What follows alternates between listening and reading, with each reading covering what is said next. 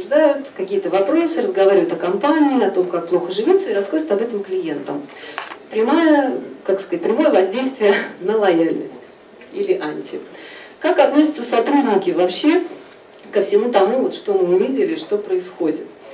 То есть, естественно, как следствие, нет доверия к результатам, они вообще не понимают, откуда эти результаты происходят, ну и, безусловно, они напряжены с точки зрения последствий. При этом, а, что происходит, какая, какие есть различия а, в зависимости, ну, то есть э, в действиях, которые сотрудники готовы предпринимать с целью изменения своего поведения, улучшения своей работы.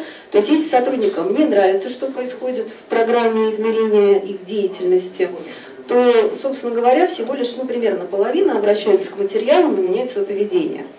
А если они согласны, то меняют поведение 96, и 77 из них готовы еще как-то дополнительно обучаться. То есть мотивация автоматически растет.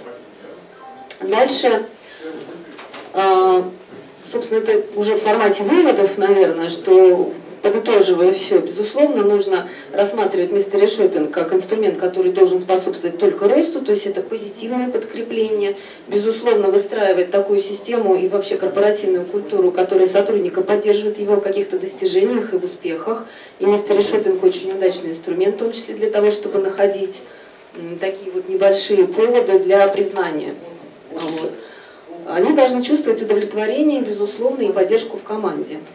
Дальше а, Все, что касается форматов, обратной связи, то, ну, в общем-то, я об этом уже говорила, что, безусловно, обратная связь должна быть, но она должна быть еще и корректной. То есть она должна быть правильно организованной, она должна учитывать интересы сотрудников всегда, потому что, в принципе, сотрудник – это, ну, в общем, ключевая ценность в большинстве компаний, и это как раз тот самый инструмент для всех совершенно бизнесов, которые что-либо продают, который позволяет напрямую воздействовать на лояльность клиента и формировать, ну, помимо лояльности, здесь вот на секции по брендингу тоже говорили о таком понятии, как амбассадоринг, такое замечательное слово, но, собственно говоря, это человек, который является фактически «я есть бренд», да, то есть он представляет бренд в своем лице.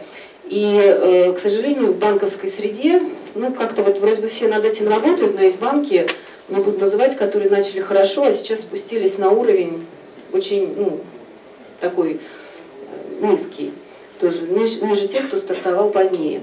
Ну, собственно, все. Вот, я надеюсь, была не очень, не очень скоростно все пробежала. Если есть какие-то вопросы, задавайте. В принципе, можно любой вопрос задавать по почте и мой мобильный телефон. С удовольствием отвечу. Презентация для всех доступна. Спасибо огромное за внимание. Если есть вопросы,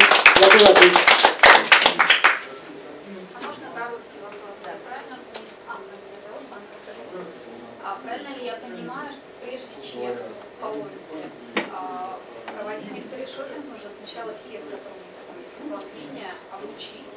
была ответить.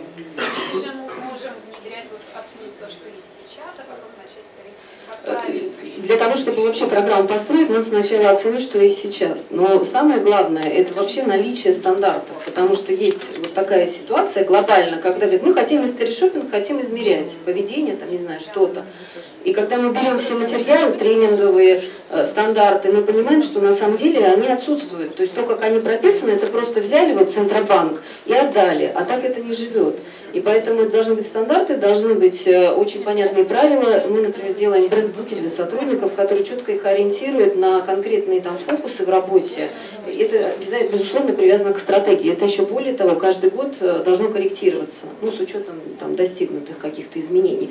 Поэтому, да, измерение сначала для того, чтобы понять, дальше то, чего нет, достроить, потом обязательно провести информационную работу, вплоть до того, что, может быть, проведены какие-то специальные тренинги по обучению людей, по информированию их, вообще и о стандартах в том числе, и ну, там, о том, как работать, и о том, как будет измеряться все это. Но самое главное, это вовлекать как раз middle management, потому что по большому счету вся работа над изменениями, она идет на middle management. Когда мне говорят о том, что мы открываем все данные, мы хотим видеть, кого проверили, как проверили, сеть там, не знаю, ну один из наших клиентов, это, например, Сбербанк, представьте, какая сеть, да, невозможно это делать, потому что э, нельзя отвечать за действия каждого конкретного директора розничной точки, поскольку один человек понимает свою ответственность, он знает, что он э, формирует команду, он с ней работает, и он будет правильно это делать. Да? Но большинство из них, как правило, выйдет в зал и скажет, ты сволочь, из-за тебя мы все лишились бонуса. Да? Вот как бы это результат. Это то, что потом там видно в результатах, когда люди не принимают программу, они, собственно, не хотят, э, чтобы она шла, и они там потом ищут, и они покупают. Ну, в общем, занимаются, на самом деле, страшными вещами, а компания это все оплачивает. Все начинается там, что называется, с яйца. Спасибо большое за внимание. Спасибо большое.